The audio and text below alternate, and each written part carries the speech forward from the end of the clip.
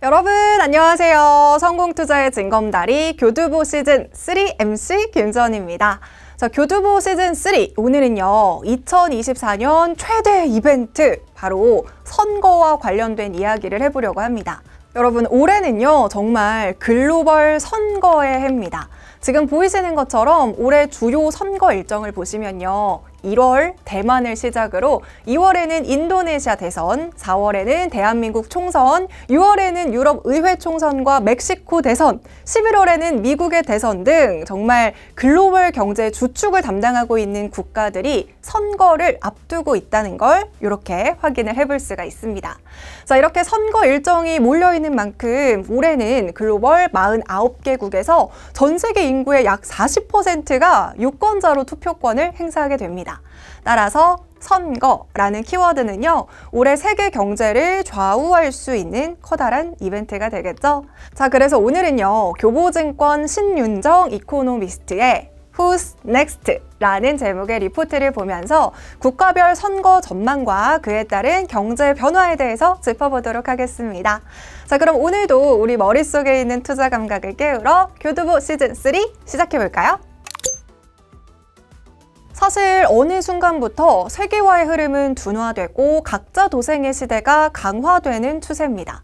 따라서 국가들이 보호무역 스탠스를 강화하고 새로운 규제를 발표하는 과정에서 정치, 경제적 리스크가 상승하면서 변동성이 확대될 수 있다는 것 먼저 염두에 두셔야겠습니다.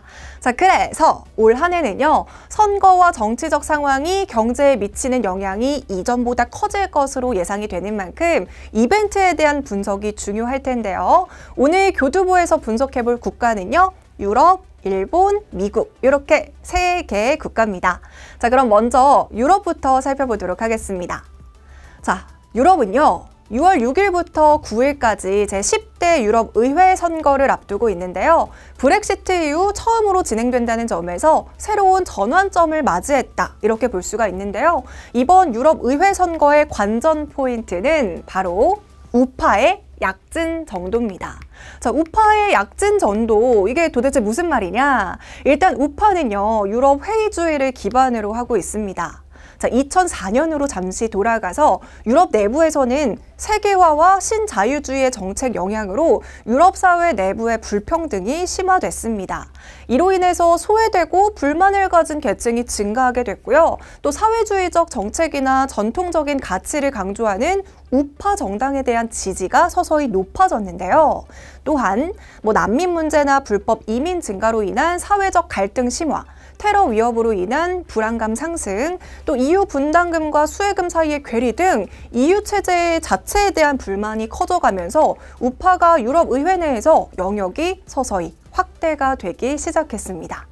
그리고 팬데믹 이후 기존 EU 경제체제의 한계와 경기 침체 위기가 가시화되면서 유럽 국가들의 극우 정당을 향한 지지가 이례적인 수준으로 높아지게 됐죠. 이런 상황에서 유럽 내 극우 정당들은 이런 유권자들의 심리를 정확하게 타겟팅하는 정책을 전달하면서 이러한 빈틈을 파고드는 모습들을 좀 보여왔습니다. 예를 들면 뭐 반이민, 난민 아니면 감제 이런 슬로건 중심에서 훨씬 더 나아가서 반녹색 스탠스까지 전달하면서 에너지에 대한 불안감이 확대된 유럽 유권자들에게 상당히 현실적인 경제 대안을 제공하는 정당이다. 이런 인식을 심어주게 된 거죠. 덕분에 지난 제9대 유럽의회 선거에서 우파는 한 차례 세력을 확장시킨 바가 있습니다. 8대 유럽의회와 비교해서 여당은 35석이 감소한 반면에 극우 정당은 17석이 증가하면서 총 135석을 확보한 바 있습니다. 물론 우파가 이렇게 약진을 하고 있음에도 불구하고 집권당은 1979년 유럽의회 창립 이래로 지속적으로 50%가 넘는 의석수를 차지하고 있기 때문에 집권당의 교체 가능성은 제한적입니다. 하지만 지금처럼 우파의 입지가 계속 확대가 되고 유럽 회의주의 인식이 강화되면서 유럽 내 정치 지형 변화, 정치적인 분열 움직임의 가능성이 있을 수도 있다는 겁니다. 특히 2024년에는 유럽 국가들 자체적인 내부 선거가 이렇게 많이 예정이 되어 있는 만큼 내부에서 나타난 정치적인 이슈가 유럽 의회로까지 확대 또는 반대로 영향을 주면서 금융시장에도 높은 변동성을 야기할 것으로 판단되고 있습니다. 그래서 유럽의 선거 관전 포인트는 우파의 약진 정도. 이해되시죠? 자, 다음으로 살펴볼 국가는 바로 일본입니다. 일본에서는 자민당 총재인 기시다 총리의 임기가 2024년 9월에 종료가 되면서 차기 자민당 총재 선거가 진행될 예정인데요. 일본 총재 선거의 관전 포인트는 바로 기시다 노믹스의 외로운 싸움입니다. 자, 외로운 싸움. 이게 또 무슨 말이냐? 통상적으로 총리는요, 내각의 지지를 기반으로 하기 때문에 무리 없이 연임을 할 수 있는 구조입니다. 그런데 이 기시다 총리의 경우에는 연임이 쉽지 않을 수가 있습니다. 왜냐하면 일본에서 이 기시다 총리의 여론이 좋지 않기 때문이죠. 그 이유 중 하나는 고물가의 장기화입니다. 어? 일본은 오히려 디플레이션 아니었어? 이렇게 생각하실 수가 있는데요. 2023년 2월 소비자 물가 상승률은요, 전년 대비 4.3%까지 상승했습니다. 아, 물론 뭐 미국, 유럽 이런 주요 국가들과 비교했을 때는 일본이 현저하게 낮은 물가 압력이기는 합니다만 상품 가격이 상승하는 것을 체감해 본 적이 없는 일본 국민 입장에서는 굉장히 큰 경제적인 충격이었습니다.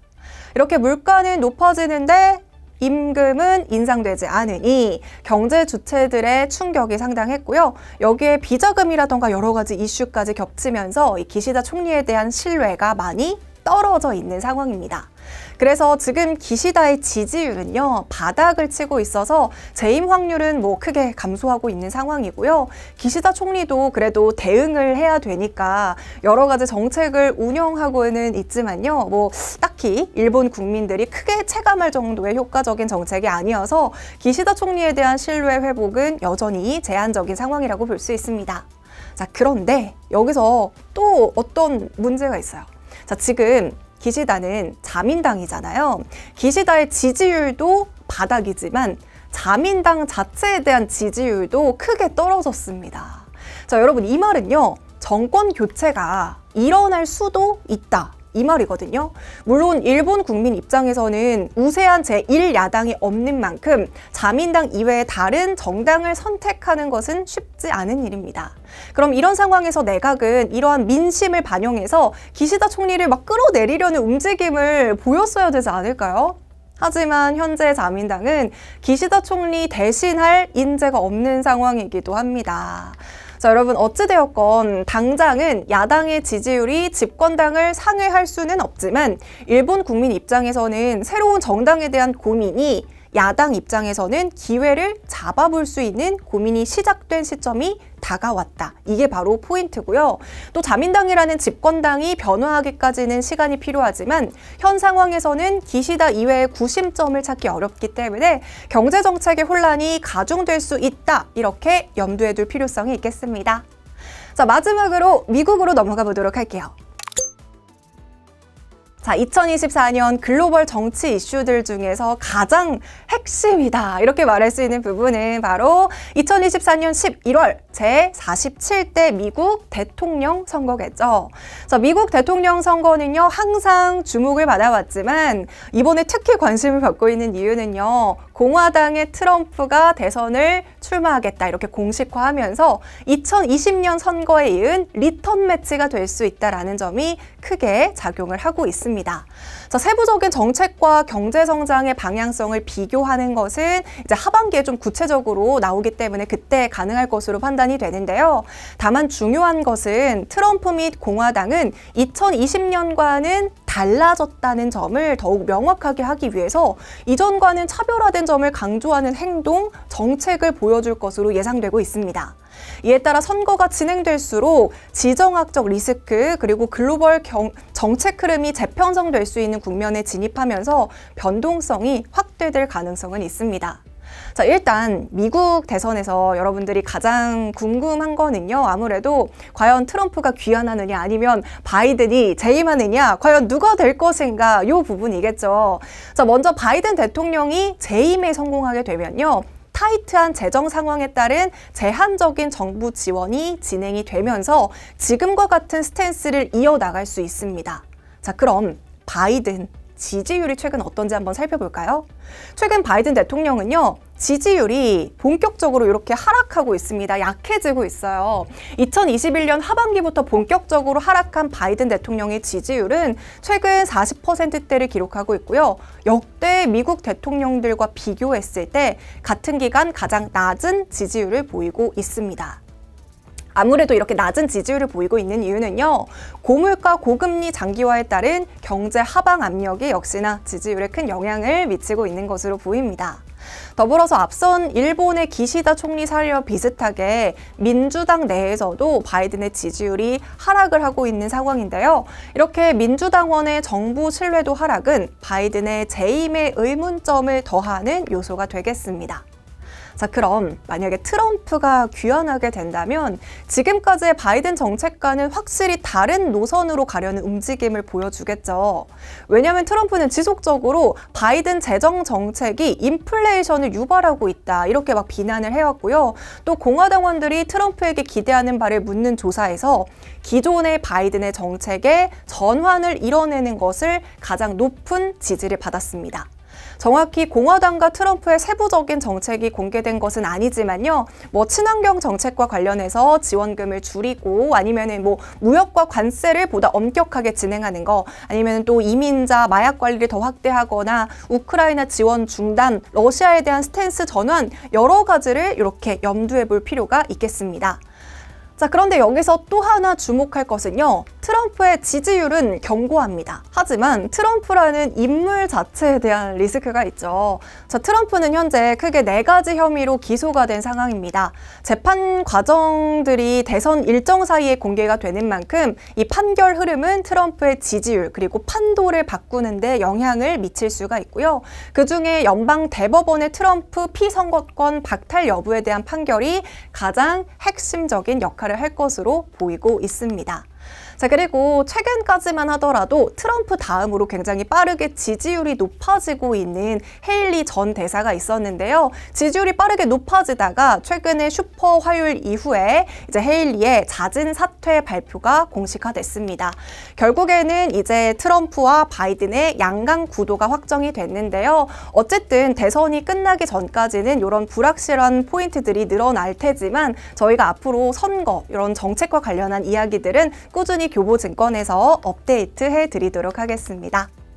네, 이렇게 선거의 해, 그 중에서도 주목해볼 만한 국가들, 유럽, 일본, 미국의 대선 포인트들을 짚어봤습니다. 자, 자세한 내용은 교보증권 사이트에서도 해당 리포트 이렇게 읽어보실 수가 있으니까요. 같이 참고해 보시고요. 더 궁금한 내용이 있다면 언제든지 댓글 남겨주세요. 자, 오늘 영상도 도움이 되셨다면 구독, 좋아요 버튼 꼭 눌러주세요. 그럼 성공투자의 징검다리 교두보 시즌3 다음 시간에도 기대해주세요. 안녕!